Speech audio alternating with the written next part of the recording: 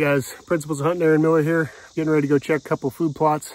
Hope you guys will stick with me, follow along. Let's go see these things, see what they look like.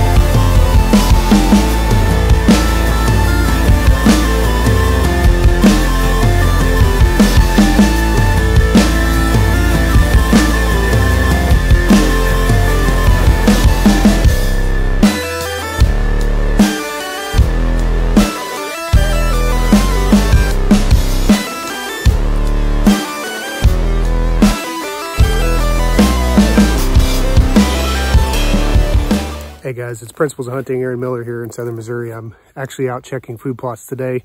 Um, as you can tell, it's nice and sunny out today, so I'm trying to stay a little bit in the shade.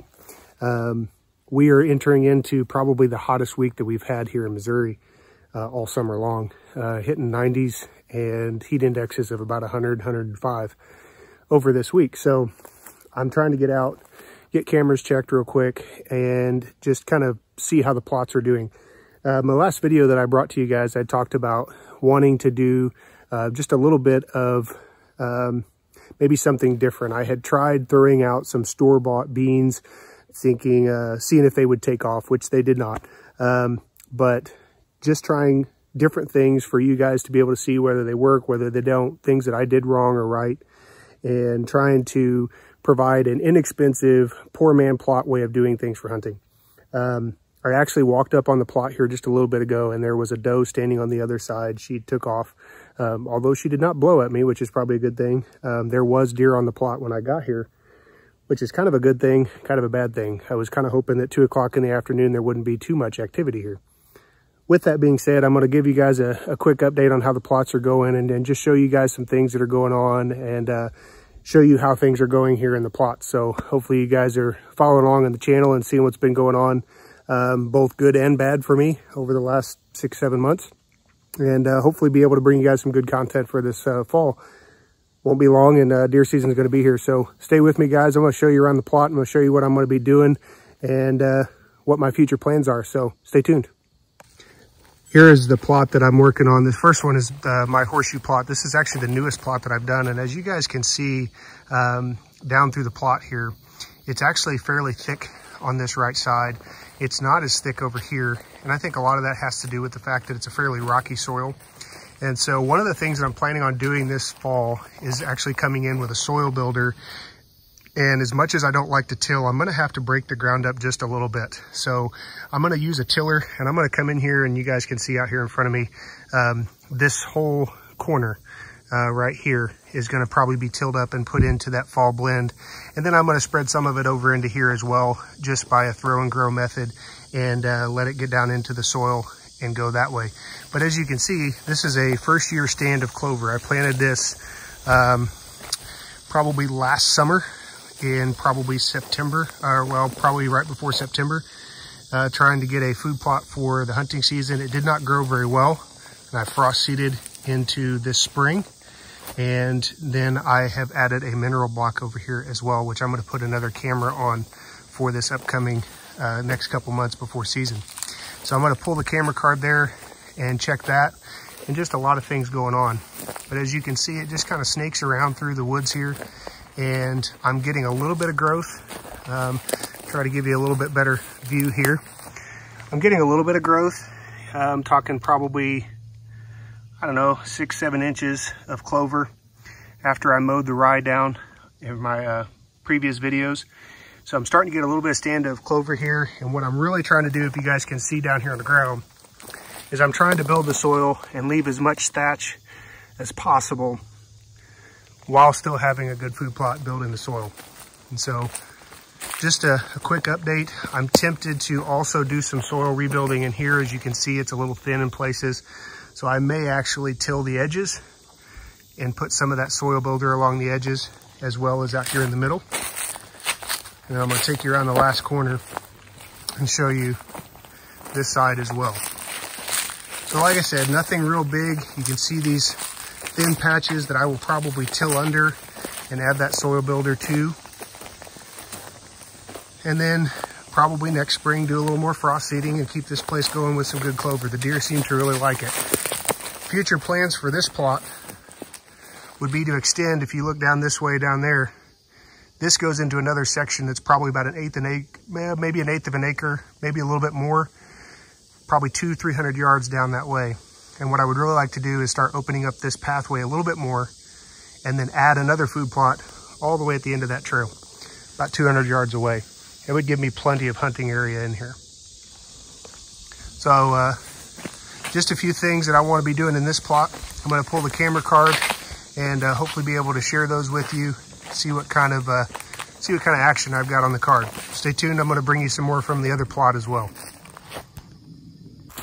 All right, guys, going into plot number two. I'm Gonna pull that camera card as well and check and see what it looks like. Just gonna give you guys some view of what my plots are looking like. As I told you guys my last one, there's still a, a good amount of clover growing, but this is the hot time of year and I don't expect it to last super long. I'm gonna switch the camera around here just a little bit. All right, guys, here is the food plot that I started several years ago. This is my first and main food plot.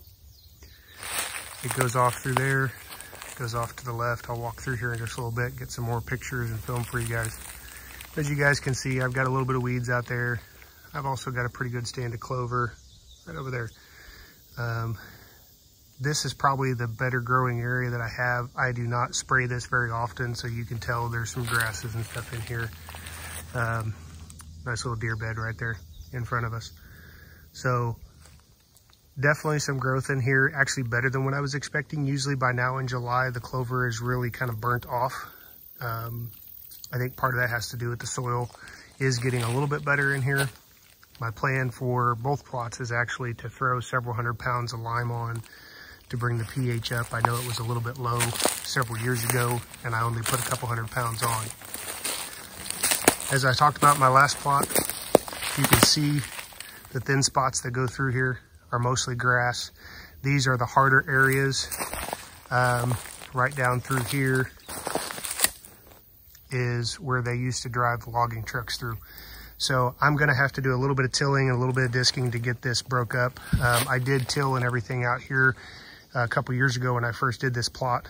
Um, I just couldn't get the edges very well. The disc was too big, so I couldn't get down these skinnier paths. So with that being said, I'm gonna have to do a little bit of clearing over there um, to open up a walkway for the deer. Uh, that cedar tree has been knocked over. Um, so I'm gonna do a little bit of work on the smaller one that's bent over right there to try to open that pathway up because they go in and out through there. They also go in and out through the, the opening. And last year I had quite a few of them come up through this side as well. So a lot to work on here. I'm probably gonna take a few pictures for you guys and add them on at the end of the video. But this area up here, I'm planning on tilling a lot of this because it's never really taken off real well.